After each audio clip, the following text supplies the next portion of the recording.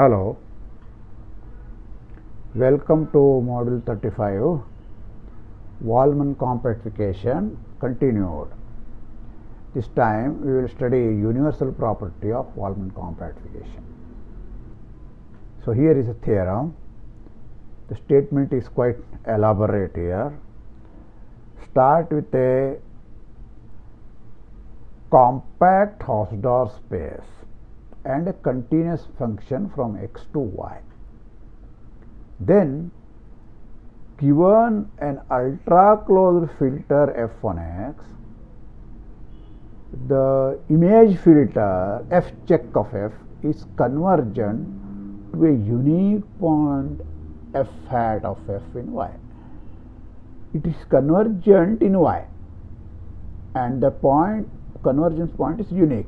That unique point I am denoting it by f hat of f. That is the meaning of convergent to a point here. Okay. After all, it depends upon both uh, the filter as well as the function f. The association f going to this f hat of f, which you have just defined because of the uniqueness of the convergence of this f check of f. This is a continuous function from the space of all ultra closed filters, right? This is Wallman compactification to the given compact Hausdorff space. And it has the property that f hat composite phi is identity uh, is identically f, the original function f. So think of phi as an inclusion map of x inside wx. This is not, this f hat is nothing but the extension of f. That is the way I would like to think of f.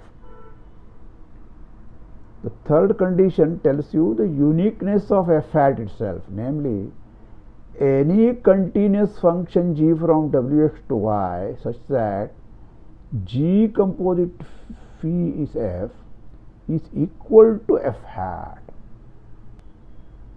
Okay. So, this is the universal property of the compactification that we are discussing now. So, let us go through the proof of this one. Okay. So, this is the picture that I have in mind of what I am going to do. Starting with a continuous function, of course, we have to assume y is compact Hausdorff. Okay, I want to get a function here f hat and I have already described how this function is got. Take an element here that means an ultra closed filter. The image filter under f that is a filter on y. It may not be ultra closed or anything, but it is what? It is convergent because y is compact. And that convergence is unique because y is Hausdorff also. So, that is the function f hat. We have to show that this f hat is continuous and this diagram is commutative. Okay. Such a f hat is unique is the last part, the uniqueness here indicated by a sheik. Now, suppose f check of f is not convergent in y. Okay. What does this mean? It means that for every y inside y there exists a open neighborhood Vy of y in y which does not belong to f check of y f check of f. This is what we have seen earlier. Any filter does not converge means you have neighborhoods like this. Okay, does not converge for every point you must have a neighborhood which is not in there. This is what we have used earlier also. But this is the meaning. What is the meaning of this? F of f inverse of ui, ui is a neighborhood of y inside capital Y. So, f inverse of ui that is an open subset of x now. f of that is contained inside ui, right. So, ui is not is also not inside uh, f of f, right if uh, this ui is neighborhood ui which does not belong to f check of f Okay, means even this is not inside because if this is if this set is there, then ui would have there because it's a superset, right? But this means that f inverse of ui is not in f, right? If f inverse of ui is not in f, then image of f would have been in uh, f check of f. If f, it is in f check of f, then ui would be in f check of f. So that is the chain here. So what we have got is that an open subset f inverse of ui of x is not in f. Okay. Since y is compact, we can choose finitely many yi's such that y is covered by this finitely many open sets u y i's. For each y you are getting this one now. But then what happens if you take inverse images of this they will cover x. So x will be the union of iron 1 to f inverse of ui's and this x is inside f Again we are using the last thing that we have proved last time and we, we used it, now we are using it again here. So what does this mean? This means that one of them is inside f and that is a contradiction. So we conclude that f check of f is convergent. So the point is we are not proving f check is an ultra closed filter if that is the case, then we don't need to repeat this proof. Okay, and it is not true also. It is not true that even it's a closed filter in general. Nothing is needed. Okay, we go back to uh, X and do the work there and conclude that the image check, image uh, filter must be uh, convergent and the convergence is uniqueness follows because y is Hausdorff. That is an extra assumption. Okay. This proves one. So, the function is there now. Automatically, what is this function? If you start with uh, if, if, if, you start with uh, uh, x here and go to phi x. What is phi x? Phi x is the atomic filter f. What is f check of phi x? It is uh, it is f of fx. It is the atomic filter generated by the singleton fx and that filter will not converge to any other point than fx right Therefore, f hat of x must be equal to f x. f hat of v x must be equal to f x. So, if you come this way and go by f hat, what you get is f is the conclusion here. So, that is what I have done here. Now, I repeat it. Note that if f is f x for some x, which is the meaning of that this f is phi of x, that is the definition, right? Since f x converges to x, it follows that f check of fx converges to fx. This just means that f hat of vx is fx. Okay, I saw it in a different way because f check of fx is nothing but f of fx, the atomic filter generated by fx. Okay, we need to show that f hat from wx to y is continuous with the topology here being the Wallman, Wallman compactification topology, whatever you have defined. So, start with a u, a neighborhood of y in f check of f, f hat of f. f hat of f is some point inside y, okay, for some f inside wx. So, I must produce a neighborhood such that that neighborhood goes inside u. Okay, choose an open set V such that y belongs to V contained inside V bar contained inside U. I start with an open subset U and which is the neighborhood of y which is y I am assuming is f hat of f. Okay. So how can you get this one? This is because y is compact Hausdorff means it is also regular. Compact Hausdorff space is a T4 space. Okay. So in particular it is regular also. And hence what we get is a neighborhood V, y belonging to V contained in V bar contained inside U. Now we claim that this F is inside F inverse of V plus. F inverse of V is open inside Y. F inverse of V plus will be an open neighbor, open subset in the Wallman compactification. I want to say that this curly F that we started with, this filter, is here. Moreover, under F hat, this F inverse of V plus goes inside U. So once I state it, it is very clear that this happens, but let us verify this one. Since y is f hat of f, that means what? It is the limit of f check of f, and that limit is inside v. We have this neighborhood v is inside f check of v. Okay, nx, the whole of ny is inside f check of f. So in particular, v is here. Hence, there exists some A belonging to F such that this FA must be contained inside V. V is a superset of FA. That is the way F check is defined. You take all image of members of F by little f and then take supersets. That is the way F check is defined. So there is some member here A inside curly F f of a contains is contained in V.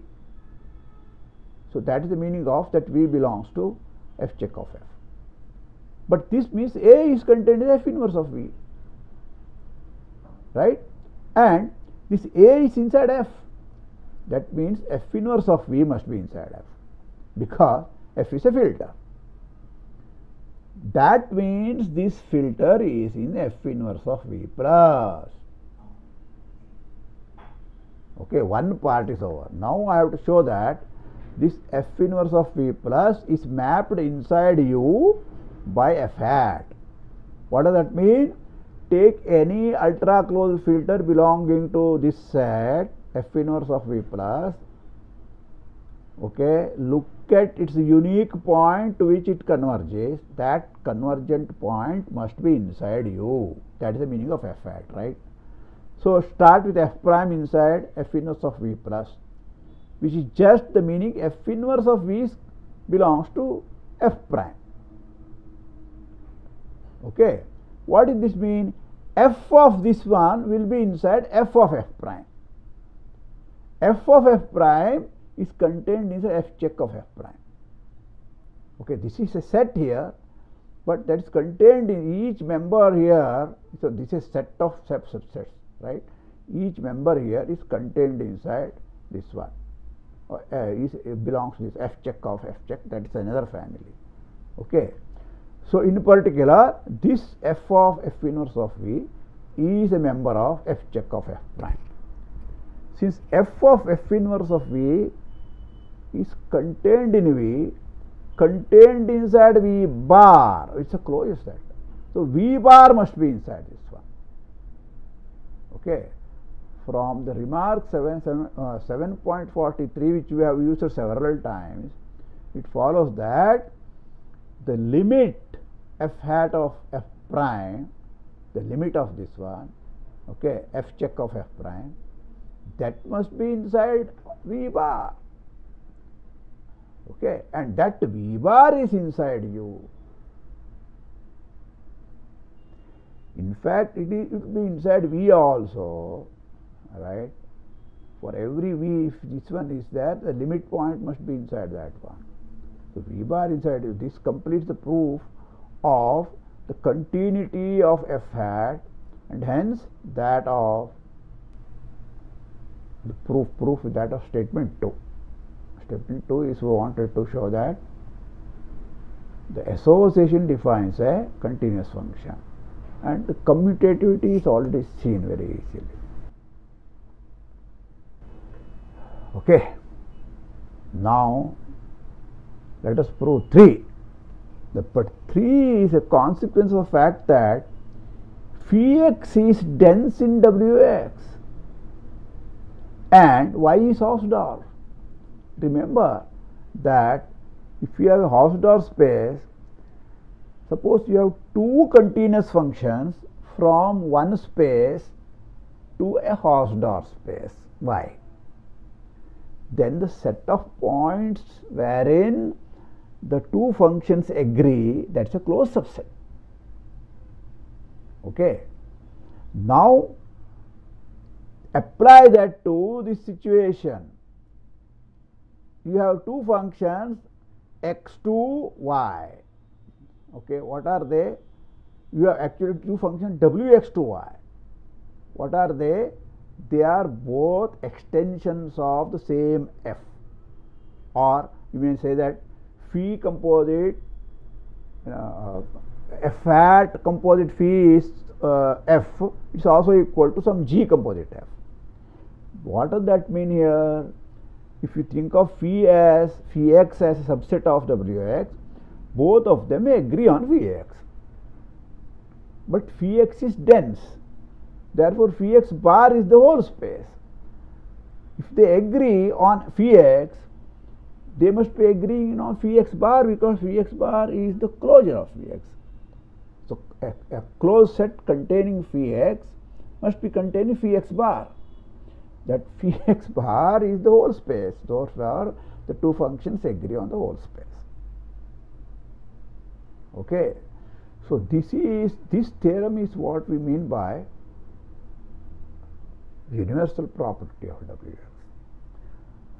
It would have been fantastic if we could prove such a thing without y being Hausdorff, just y, y T1 space.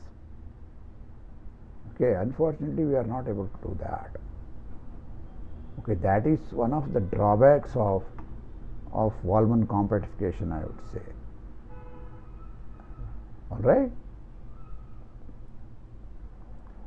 Returning to our remark 7.72, let us suppose that the Wallman compactification Wx of the space is Hausdorff. So, I just made this remark. Okay. Take a special case, namely Wx is Hausdorff. Since a compact Hausdorff space is a Tikhonov space and Tikhonov property is hereditary, it follows that X is a Tikhonov space. Okay. So, I said it would have been wonderful and all that, but the very fact that you know, the Wallman compactification is meant to get a compactification of a larger class of spaces. Okay. So, if you want it to be Hausdorff, you are forced to do it only for Tikhonov spaces. So, this is an inherent if you want to think of this as a uh, you know weakness then it is inherent in what you are trying to do there is no other way you, you cannot expect Wx to be compact, uh, Wx to be Hausdorff all the time. Okay, that is not possible. That was not the intention of Wallman at all. All right. So that is the point of making this remark. So, so we have to accept it. All right. Having done that, let us see what we can do when it is Hausdorff. So, X is already now Tikhonov space because Wx is Hausdorff. The moment it is a Tikhonov space, we can also get the Stone-Čech compactification E comma Ex bar. So, this makes sense. Okay. So, what is the difference between these two compactifications is the natural question that we want to investigate now. Okay. So, this is answered by the two universal properties of both these compactification. So, take E Ex bar denote the Stone-Čech compactification. By the universal property of E Ex bar, okay, we have a unique continuous function phi hat from Ex bar to Wx such that phi hat composite is equal to phi. This is similar to what we have done for Wallman compactification just now. Okay. Moreover, since Ex bar is a compact Hausdorff space, we can apply the previous theorem okay, just now that we have proved. We get a function E hat from Wx to Ex bar such that E hat composite phi is equal to E. Okay. So, we did it for x to y a function f and then we call it f hat. Now, this is f is E hat E. So, I have got E hat here. So, what we have got is here x is your space which is a Tikhonov space. It is sitting inside Stone-Čech compactification here and Wallman compactification there. Okay. So, this is the Stone-Čech embedding here and this phi is the Wallman uh, embedding. Okay. X going to the atomic filter effects. So, what happens? This function gets extended to E hat. See from here E is like this. So, it gets extended to E hat like this and this function gets extended to phi hat here. Okay. Now, what happens to phi hat composite E hat? That will be an extension of E inside Ex itself. Okay. But the universal property of Ex bar says that there cannot be two different extensions. Identity function from Ex bar to Ex bar is already an extension of E, right? Obviously, E composite identity is E, right? So, there will be two of them, namely phi hat composite uh, come back by E hat, E hat and the identity. So, there cannot be two. That means that this composite, this is identity of Ex bar. Exactly same way E hat composite phi hat will be identity of Wx. What is the meaning of this? That these are homeomorphisms, not only that uh, they are homeomorphisms, they are commuting with these embeddings. The embedded object x goes to the embedded object. The homeomorphism, if you think of this as substrate of both of them, the homeomorphism can be thought of as identity on the subset. Okay. So, it is in this strong sense that we say that the Stone-Čech compactification and the Wallman compactification are the same for a Tikhonov space such that its Wallman compactification is Hausdorff. We have to assume that. Okay, that is the conclusion. The general question is when is Wallman compactification is Hausdorff? Suppose you assume it is Tikhonov space. Suppose you grant that. Will you immediately say that x is uh, uh, Wx is Hausdorff? That is not that is not a answer. You may need some more conditions. Okay, one doesn't know that. Huh? So we will stop here. Uh, this is a good point to stop this uh, study here. We can't go on doing that. So, next time we will start a new topic. Thank you.